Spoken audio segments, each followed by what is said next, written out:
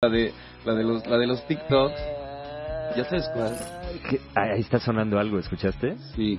No sé qué fue. Yo tampoco sé qué fue, pero, pero estuvo espeluznante. ¿Qué fue? No sé.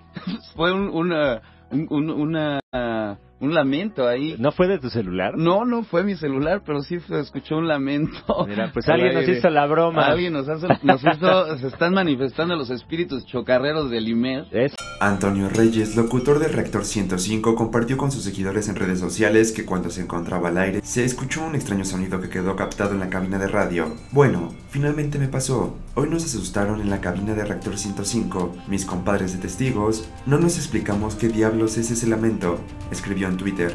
Antonio Reyes conduce el programa Detonador en Reactor, la frecuencia del Instituto Mexicano de la Radio, en el 105.7 de FM. Y durante el episodio del viernes 30 de junio, mientras se encontraba con Vince, el cantante de Rebel Cats, se escuchó una especie de lamento. Luego de que compartió el audio de lo sucedido, los seguidores de Antonio Reyes le dijeron que el sonido sí se escucha extraño.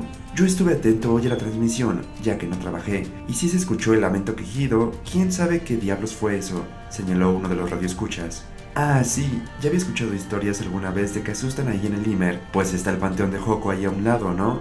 No sería extraño. Recuerdo que alguna vez un operador de ahí comentó que vio una sombra bailando, escribió alguien más. Hubo otros que dijeron que fue un gato, incluso las tripas de los conductores. Sin embargo, Antonio aclaró que el sonido no venía de un aparato.